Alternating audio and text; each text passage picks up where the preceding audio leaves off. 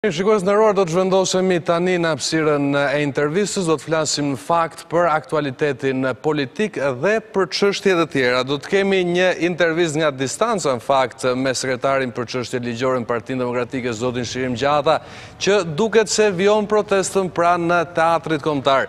Zoti Gjata, mirëmbrëma, faleminderit që krahas protestës gjetët edhe kohën për intervistën.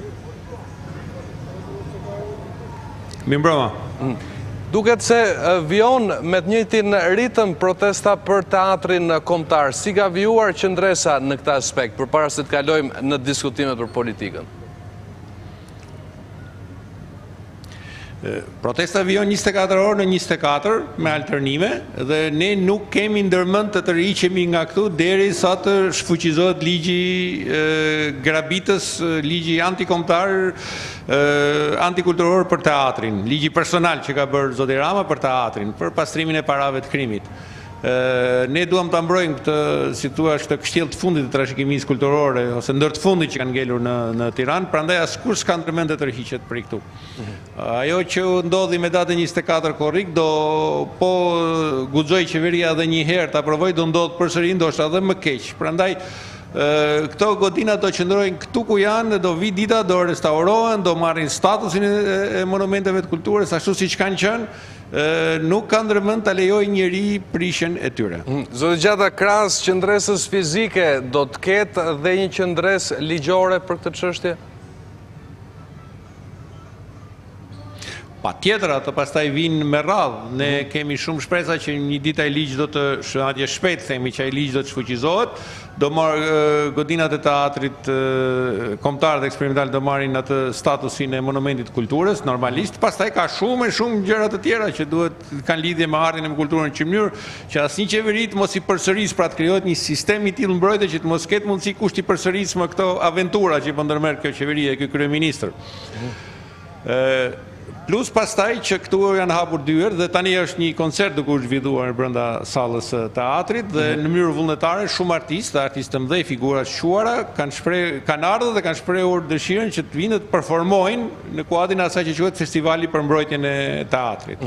Zoti Gjata, ka... Pra ajo që quhej diçka e shkatërruar, lënë pas dore, përkundrazi po po ri ri ri ristrukturohet dhe po është ristrukturuar domethënë në aq mundësi sa kemi patur, eh, por është rivënë në punë eh, salla dhe skena e Teatrit Kombëtar. Mm. Ndërkaq vijon të ketë çështje të nxehta edhe në politikën e ditës. Sot patët një denoncim nga selia e Partisë Demokratike ku shprehet se Zoti Rama nuk po lejonte dorëheqjen e Valdrin Pjetrit. Gjithsesi pak orë më pas ky i fundit përmes një postimi në Facebook njoftoi dorëheqjen edhe pse nuk ka ende Një përgjigje nga Italia. Si i patë zhvillimet pas deklaratës suaj dhe cila është e ardhmja që do të ketë Shkodra?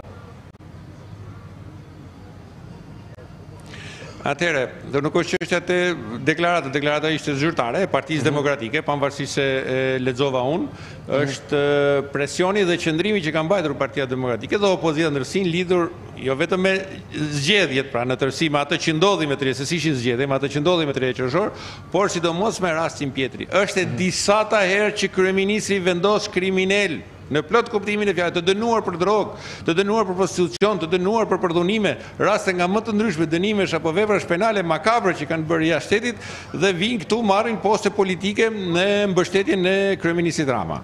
Atëherë kjo duhet të marrë fund. Me Partia Demokratike ka zhvilluar një tre vjet më parë një betejë të jashtëzakonshme për miratimin e ligjit të dekriminalizimit dhe menduam që do merrte fund kjo në bazën e atij ligji.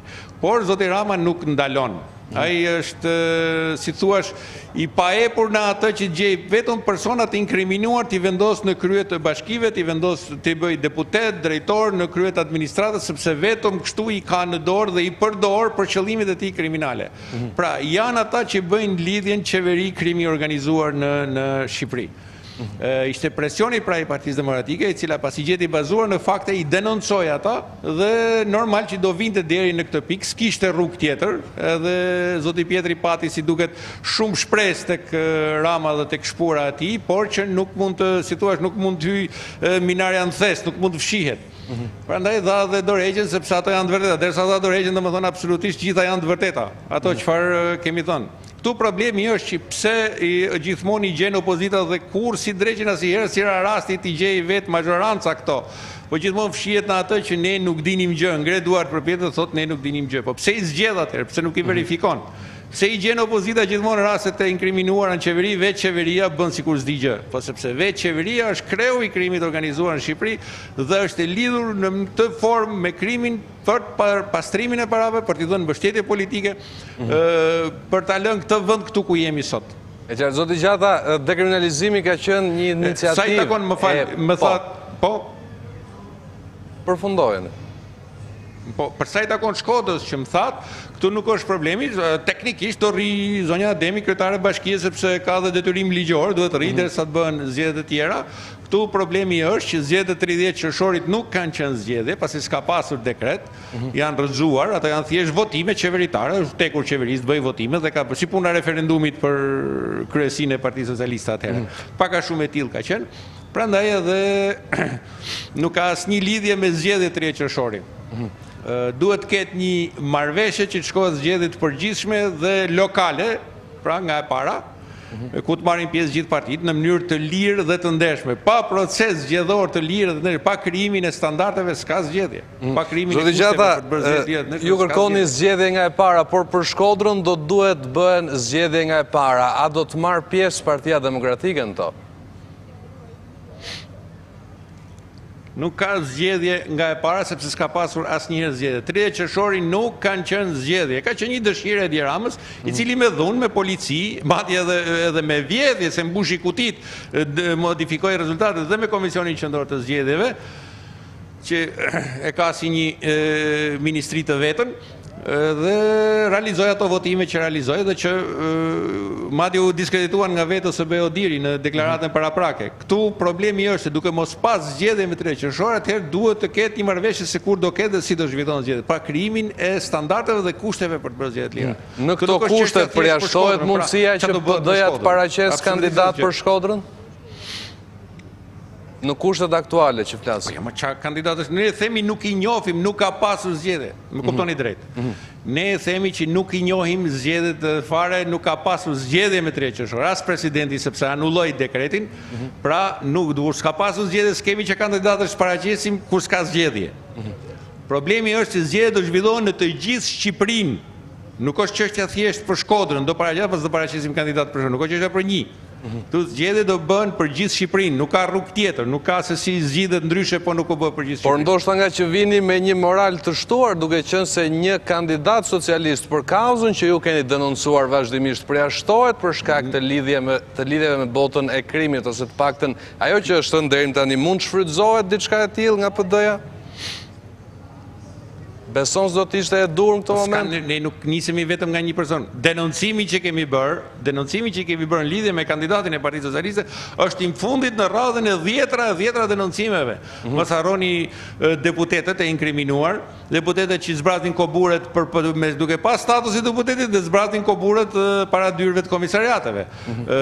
Mos harrojmë atë ish-kryetarin e bashkisë Kavajë, që kishte bërë vepra makabre penale dhe që vazhdonte të ishte me me mbështetjen e fuqishme politike të Edi Ramës, vazhdonte të ishte kryetar bashkie.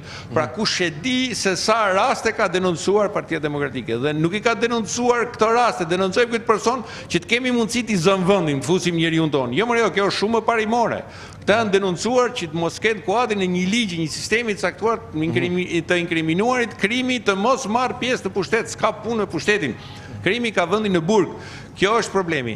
Edhe në rastin në fjalë, këtu nuk ka çështja për Shkodrën, se e marrim apo s'marrim. Edhe një herë, zgjedhjet kanë të bëjnë me gjithë Shqipërinë. Rasti i Valdrin Pjetrit ka të bëjë me personin e inkriminuar, e dënuar për trafik droge.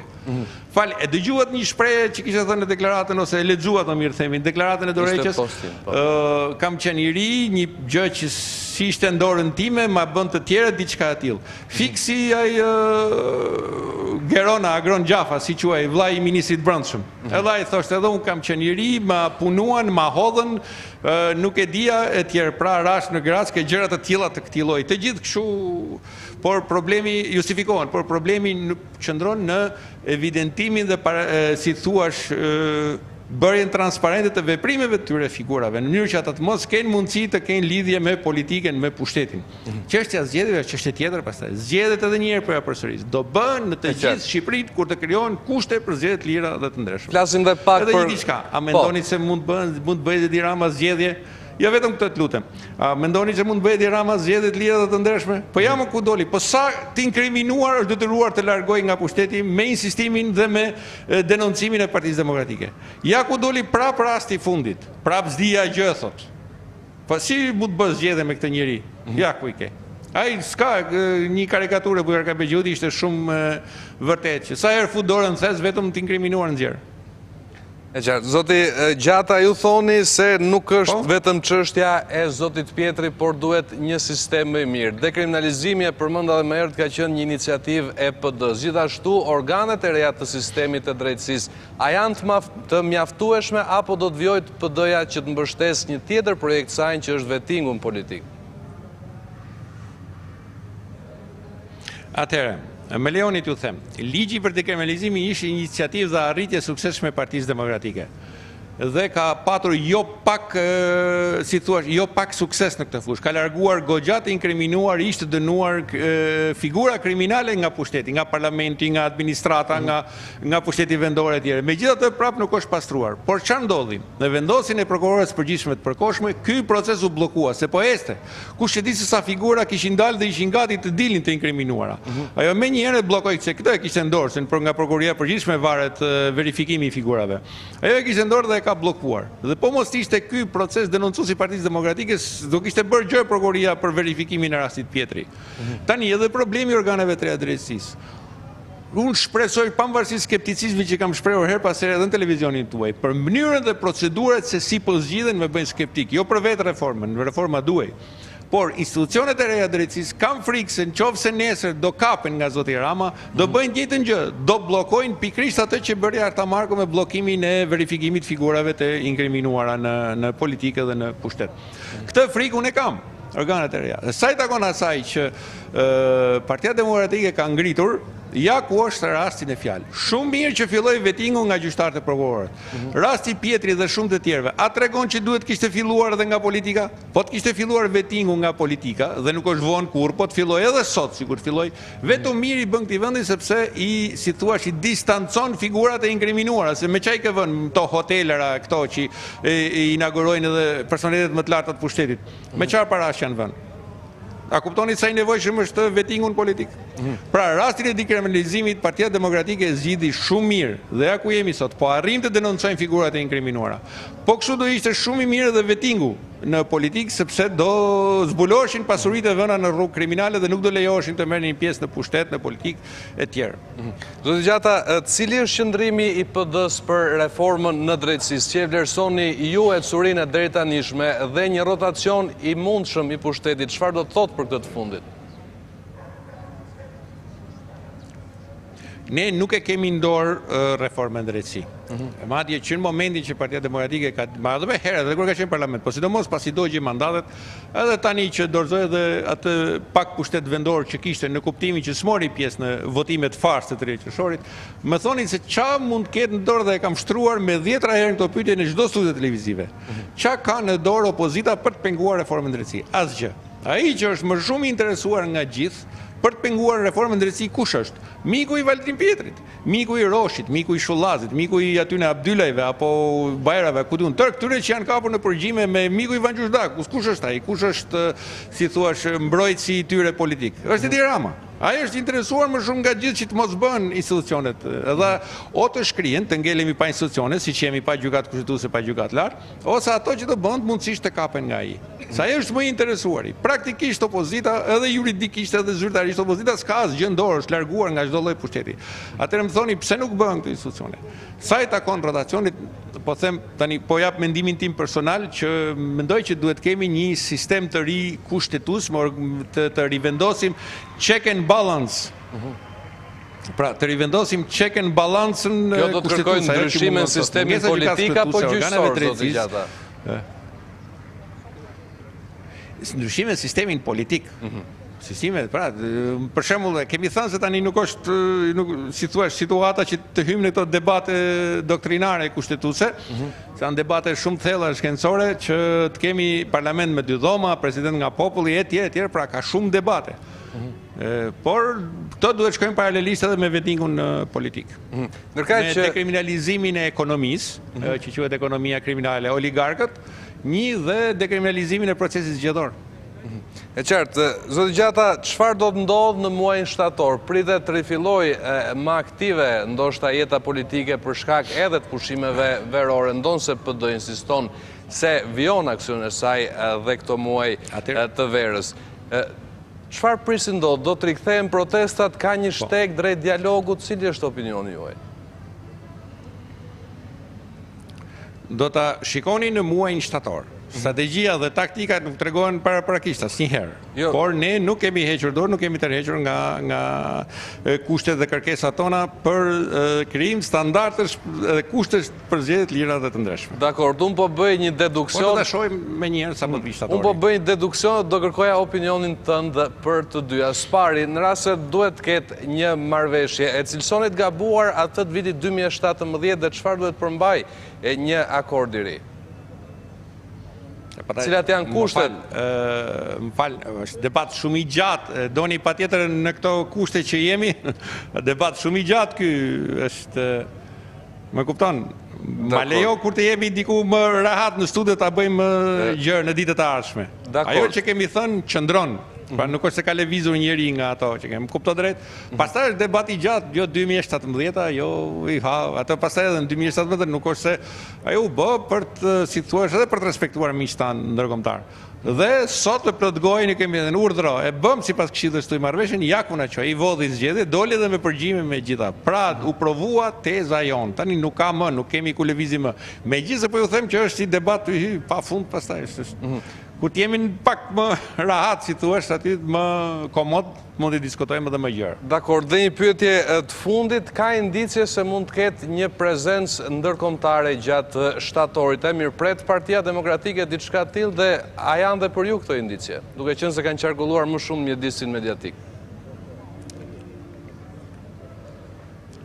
Mirë, prezencë ndërkombëtare ka qenë, është dhe do të jetë gjithmonë. Nuk është se kemi pasur ndonjë, si thuash, ndonjë përballje ose për ndonjë përplasje me prezencën ndërkombëtare. Asnjëherë. Kuptohet, kemi pasur ato mendimet dhe pikëpamjet tona. Ajo që ne besojmë shumë është qytetari shqiptar. Ne mhm. besojmë shumë te qytetari shqiptar sepse ekonomia 1, krimi 2 dhe dhe Ajo, si thuash, largimi nga vendi, varfëria e madhe, largimi nga vendi në mënyrë masive ka bërë që qytetari shqiptar të jetë në një, si thuash, në një instancë shumë më ndryshe nga çka qenë në raport me qeverinë. Dhe ajo ku ne mbështetemi jashtëzakonisht shumë është qytetari shqiptar. Prandaj edhe u dogjën mandatet dhe jemi bërë njësh me qytetarët tani dhe kemi një kauzë shumë madhore përpara. Pra, nuk është çështja, faktori ndërkombëtar ka rol ndihmës gjithë si gjithmonë. E qartë, zoti Gjata, ju falenderoj edhe një herë për intervistën. Faleminderit juve. Mirë, shikues të nderuar ishim me zotin Gjata, sekretar për çështjet ligjore.